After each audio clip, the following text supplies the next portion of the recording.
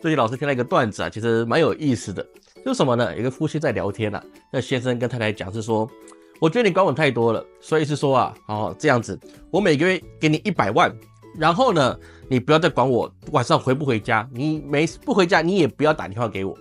那老婆就回答说，一百万，你说的是真的吗？他说对，绝对是这样子的。他说：“如果是一百万，你要去唱 KTV，我帮你预约；你要去洗脚，我帮你选技师；你晚上不想回来，我帮你约饭店；你想回家带人回家都没问题，我会帮你把床给铺好。在外面如果遇到你，我告诉你，我低着头走；如果外面小孩看到你，我把嘴巴堵了，带他往回去跑。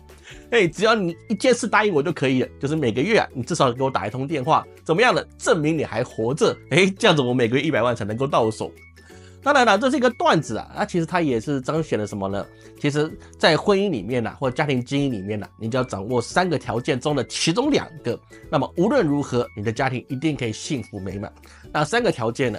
第一个就是经济价值，就是说呢，你看到家里的经济，哎，无余，对不对？得给他很多很多的钱，让他觉得生活是不不需要担心的，那这是很重要的。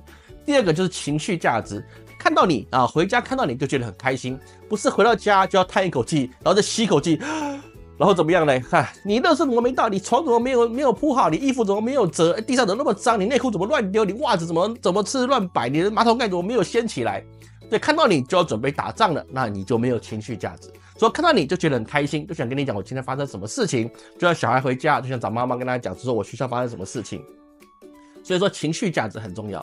第三个很重要是什么呢？就是夫妻之间的生理价值很重要，在台湾叫做交功课，功课要教得好，那么家庭自然没烦恼。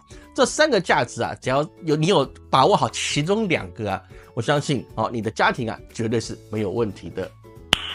Nice。